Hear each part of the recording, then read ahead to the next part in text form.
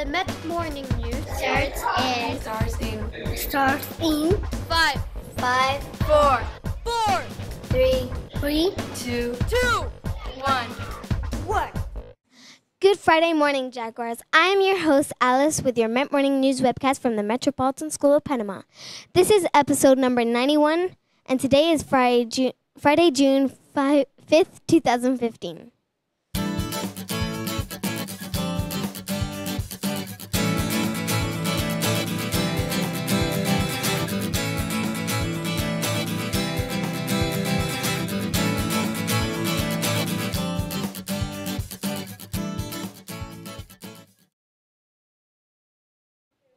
Now, here's Pablo with the announcements.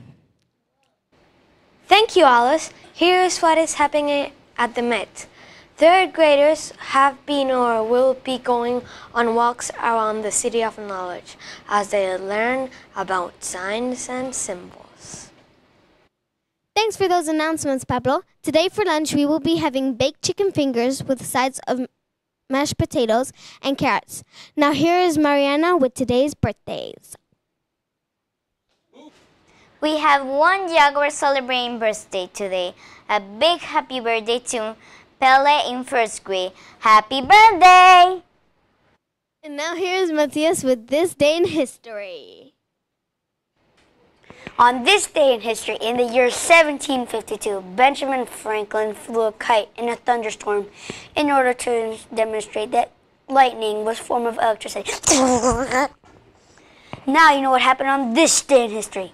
And now here's Martina with world news. Smoking is bad for the body. It can hurt the heart, lungs, and brain.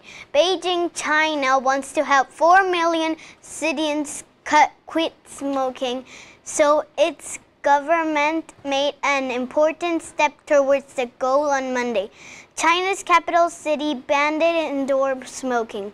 People can no longer smoke in public places.